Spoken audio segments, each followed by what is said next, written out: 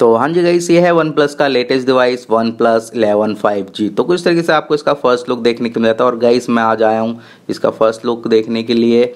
हमारे यहाँ मॉल है, उसमें लग गया इसका डेमो तो कुछ तरीके से आपको फ़र्स्ट लुक दिखा देता हूँ, किस तरीके का फ़ोन है, कैसा फील देगा। और चौदह तारीख से इसका प्री बुकिंग स्टार्ट है।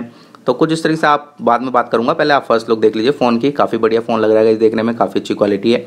काफ़ी प्रीमियम फ़ोन है। साठ हज़ार रुपये के प्राइस में मतलब पचपन से साठ हज़ार रुपये के प्राइस में आया है ये और काफ़ी बढ़िया चीज़ें हैं। तो सारी डिटेल्स मैं आपको एक एक करके बताता हूँ इसमें चलिए। तो मैं क्लिक करता हूँ और आपको बताता हूँ क्या क्या आपको इसके अंदर देखने के लिए मिल जाता है क्या क्या देखने के लिए नहीं मिलता। तो चलिए मैं डिटेल्स पे क्लिक कर लेता हूँ, फिर मैं आपको बताता हूँ। थोड़ा नॉइज़ आ रही होगी तो उसको इग्नोर करना। तो इसमें मिलते हैं आपको दो कलर्स जैसे कि एक ग्रीन कलर है और एक ब्लैक कलर तो ब्लैक कलर को इस तरीके से हमारे पास ही और ये ग्रीन कलर को इस तरीके से आपको देखने के लिए मिल जाता है।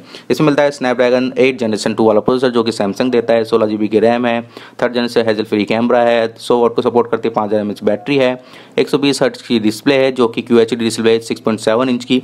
और गई काफ़ी बढ़िया डिस्प्ले है यूज़ करें, मज़ा आ गया कलर वगैरह काफ़ी अच्छे इसमें शार्प वगैरह दिखाई देते हैं। ब्लैक ब्लैक ही है वाइट वाइट ही है।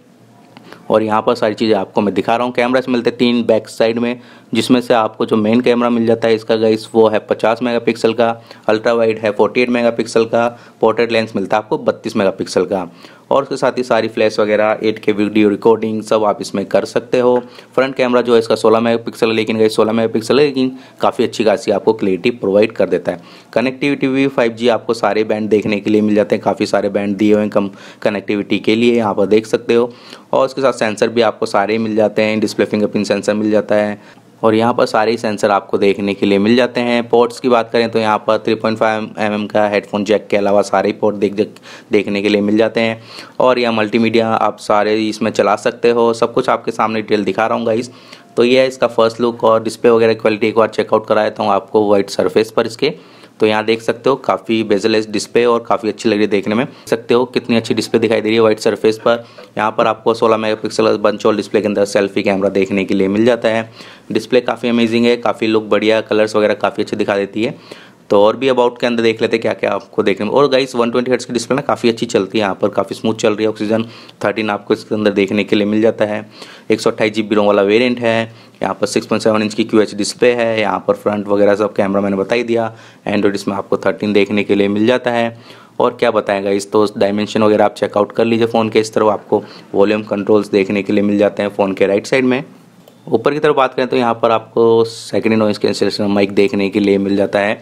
और राइट साइड में यहाँ पर पावर बटन के ऊपर स्लाइडर बटन मिल जाता है, जैसे कि वन प्लस अपने पच्चीस हज़ार रुपये से ऊपर वाले प्रीमियम फ़ोन में देता है, जो कि काफ़ी बढ़िया काम करता है गाइज़ और बॉटम साइड में देखोगे तो यहाँ पर आपको 3.5 पॉइंट हेडफोन के अलावा सारे ही पोर्ट देखने के लिए मिल जाते हैं।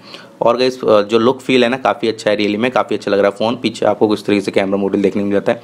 और कुछ तरीके से आपको कैमरा मॉड्यूल देखने को मिल जाता है, जिसमें आपको तीन कैमराज लगा के दिए हुए हैं, काफ़ी बड़े बड़े पचास, अड़तालीस, बत्तीस और गई क्या कैमरे की क्वालिटी ना, मैं दिखाता हूँ आपको सारी एक एक चीज़ें।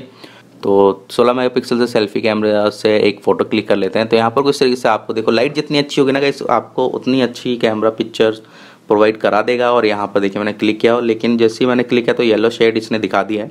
तो मैं इसको चेकआउट करूँगा थोड़ा सा अभी बस वीडियो बना रहा था मैं, अभी मैंने ज़्यादा चेकआउट किया नहीं। तो बैक कैमरे की भी जूम कैपेबिलिटी आप चेकआउट कर लीजिए। तो टू, ट्वेंटी एक्स तक जाता है और यहाँ पर देखिए काफ़ी अच्छा कैमरा क्वालिटी प्रोवाइड कर रहा है। यहाँ पर कोई फट वगैरह नहीं रहा है। और यहाँ पर आपको वाइड एंगल लेंस को इस तरह से दिख जाता है और यहाँ पर सारी डिटेल्स आपको एक एक करके दिख जाती है। तो, तो गाइस ये था एक first look OnePlus eleven five G का। तो गाइस आपको कैसा लगा मुझे कमेंट बॉक्स में बताना। तो चलिए मिलता हूँ आपसे ऐसे किसी नेक्स्ट वीडियो में। जब तक के लिए good bye thank you for watching